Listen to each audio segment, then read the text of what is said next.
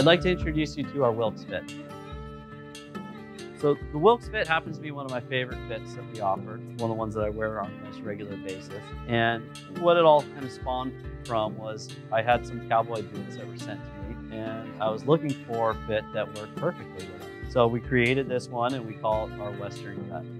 This fit starts off with, it's got a little bit longer rise. which means You wear them a little higher up on your waist. Say it's a little more on the slimmer side. And then it has a really nice taper that fits what I think perfectly over a pair of cowboy boots. Wilkes pocket is one of my favorite pockets.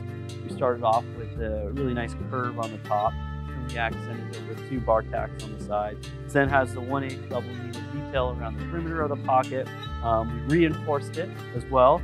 And then what's really cool is that we added this, this natural indigo thread um, in the back. And what's cool about the natural indigo is that it will break down and fade with the denim overhead. so we found a way where you can have this unique double needle outseam design accent and maintain the selvage detail.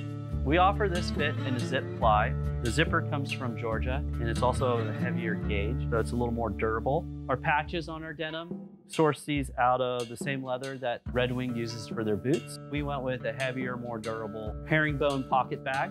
And in this denim, it's got a really nice large coin pocket one that you can access easily.